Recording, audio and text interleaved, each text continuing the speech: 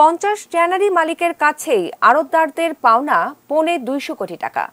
ফলে কোরবানি চামড়া সংগ্রহ নিয়েই এখন সংশয় এবং অনিশ্চয়তা। গোলাম কাদির ওপর রিপোর্ট।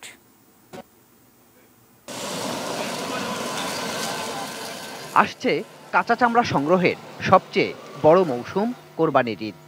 বছর জুড়ে যত চামড়া সংগ্রহ হয়, তার পঞ্চাশ থেকে ষাট শতাংশই আসে এ সময়।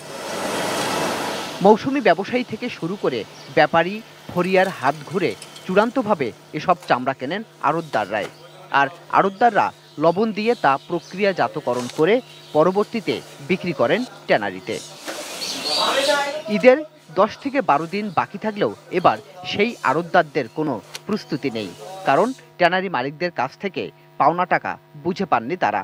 তাই কীভাবে চামড়া কিনবেন এ নিয়েই তারা চিন্তিত।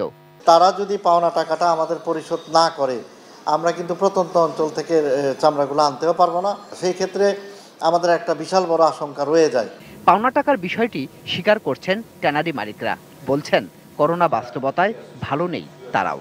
আমাদের দুইটা রিজন একটা হলো যেহেতু এনভায়রনমেন্ট ফ্যাসিলিটি না থাকার কারণে আমরা ওইখানে এনভায়রনমেন্ট ফ্রেন্ডলি প্রোডাকশন করতে পারতেছি না। আমাদের কাছে ওয়ার্ল্ডের সবচেয়ে ভালো কাস্টমারগুলি আমাদের কাছ থেকে মাল কিনতে পারতেছে না। সেকেন্ড হলো কিছু কিছু আমাদের মেম্বারদের ভিতরে কিছু ইয়ে আছে ওরা কোনো রকম ক্যালকুলেশন ছাড়াই চামড়া কিনতেছে। যেই ক্যালকুলেশনের চামড়া উনি এক্সপোর্ট করে সে টাকাটা রিটার্ন পাচ্ছে না এবং সেও টাকাটা দিতেছে না। এখন যেই লোকটা জেনুইনভাবে ব্যবসা করতেছে তার জন্য এখানে বিশালভাবে ক্ষতিগ্রস্ত হইতেছে। সঙ্গে যুক্ত হয়েছে লবণের বাড়তি দামের দুশ্চিন্তাও। লবণের দাম ছিল ছশো পঁচাত্তর টাকা আজকে শুনতেছি সাতশো টাকা। যে আপনারা এক লাখ, দেড় লাখ, সত্তর হাজার, দুই লাখ, তিন লাখ দামে গরু বন্ত আপনারা আরও বেশি দামে গরু কোরবানি দেন। তার সঙ্গে অনলি যে কোনো দোকান থেকে যদি একশো টাকা লবণ কিনেন, দশ হতে বারো কেজি। লবণজাত করে রেখে যদি কোনো ছায়া জায়গায় যদি রেখে দিতে পারে, তো এই চামড়াটা গুণগত মানও ভালো থাকবে। চার ঘণ্টার মধ্যে লবণ দেওয়ার ব্যবস্থা করতে হবে। কুরবানির দাতা এটা একটা ইনিশিয়েটিভ নেবে। না হলে চামড়াটা প্রোটেক্টেড হবে না। থার্টি ফার্টি পার্সেন্ট চামড়া নষ্ট হয়ে যাবে এই গরমে। তারপরে আটচল্লিশ ঘণ্টার মধ্যে যেন চামড়া না আসে আর যারা ব্যবসা বোঝে না তারা যেন চামড়াটা না কেনে।